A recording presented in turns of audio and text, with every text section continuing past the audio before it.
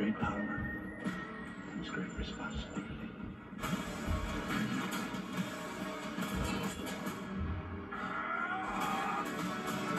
Marvel Madness continues next on FX.